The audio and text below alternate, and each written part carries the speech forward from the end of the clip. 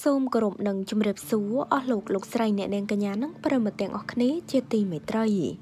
មិនសរសើរមិនបានតារាខ្មែរទី1ដេវីតនិងបុព្រឹកចំណាយថវិកាច្រើនបរិច្ចាគដល់ប្រជាពលរដ្ឋជួបគ្រោះទឹកជំនន់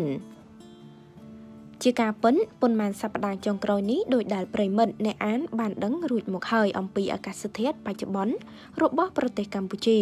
ដោយពេលនេះទឹកភ្លៀងនៅតែបន្តធ្លាក់ជារៀងរាល់ថ្ងៃ ធ្វើឲ្យមានទឹកជំនន់ជន់លិចគ្រប់កន្លែងមិនថាក្នុងទីក្រុងឬនៅតាមបណ្ដាខេត្តនានានោះទេ ដោយទឹកជំនន់ឆ្នាំនេះពិតជាបានធ្វើឲ្យមានផលប៉ះពាល់ខ្លាំងទៅដល់ការរស់នៅប្រចាំថ្ងៃរបស់ប្រជាពលរដ្ឋជាច្រើនគ្រួសារ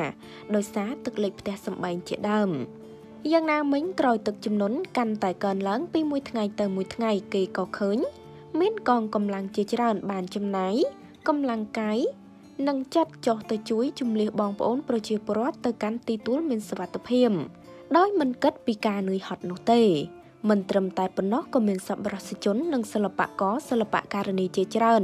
បាននាំយកនៅថវិកានិងសម្ភារៈប្រើប្រាស់ទៅចែកជូនដល់ប្រជាពលរដ្ឋរងគ្រោះដោយសារទឹកជំនន់ជាបន្តបន្ទាប់ផងដែរ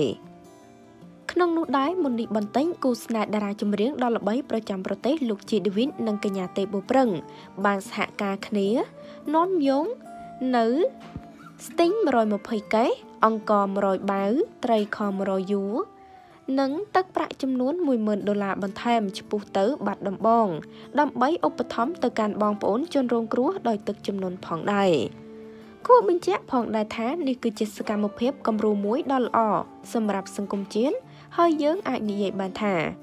តារាប្រុសស្រីមួយគូនេះជាសិល្បករសិល្បករនីទី1បានចំណាយនៅទឹកប្រាក់និងសម្ភារៈប្រើប្រាស់ជាច្រើនសម្រាប់ជួយបងប្អូនជួបទុកលំបាកពីទឹកជំនន់នេះច្រើនផងដែរចាមិនសរសើរមិនបាន លោកជីឌីវីតនិងទេពបុព្រឹកបានចំណាយថវិកាផ្ទាល់ខ្លួនរហូតដល់10000ដុល្លារព្រមទាំងគ្រឿងឧបភោគរាប់រយកេះទៀនដើម្បីជួយបងប្អូនប្រជាពលរដ្ឋដែលមានការលំបាកក្នុងគ្រោះទឹកជំនន់នេះនៅឯខេត្តបាត់ដំបងអាចនិយាយបានថាពួកគាត់គឺជាតារាទី1ហើយដែលចំណាយថវិកាច្រើន ក្នុងការជួយប្រជាពលរដ្ឋមានគ្រោះលំបាកនេះចាតើប្រិមិត្តយល់យ៉ាងណាដែរសូមចូលបញ្ចេញមតិម្នាក់មួយ ចាហើយតេតងនឹងព័ត៌មាននេះដែរក៏សូមបញ្ចប់តែត្រឹមនេះសូមចុច Subscribe និងរូបកណ្ដឹងដើម្បីទទួលបានព័ត៌មានថ្មីៗជាបន្តទៀត